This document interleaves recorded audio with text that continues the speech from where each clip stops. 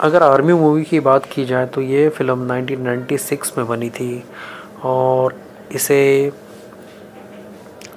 Direct किए थे राम शेट्टी ने और इसकी कहानी लिखे थे अनीस बुज़मी ने।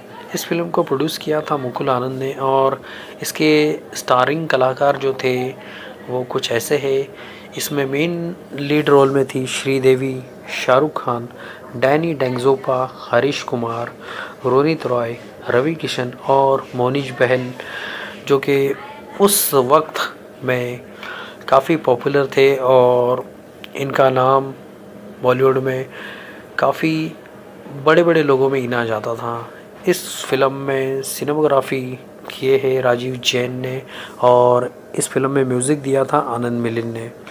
और इस फ़िल्म के डिस्ट्रीब्यूट की बात करूँ तो जी एंटरटेनमेंट इंटरप्राइजेस के तरफ़ से इस फ़िल्म को डिस्ट्रीब्यूट किया गया था। और इस फ़िल्म की रिलीज़ डेट 28 जून 1996 की थी। इस दिन इस फ़िल्म को रिलीज़ किया गया था। कंट्री इंडिया थी, इंडिया में ये फ़िल्म बनी थी। और इस फ़िल्म की लैंग्वेज थी हिंदी।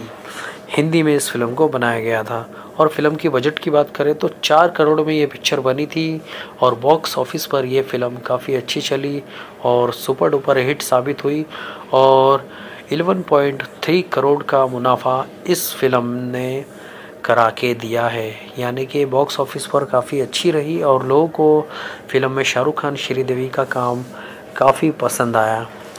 तो ये थी आज की फ़िल्म की अपडेट।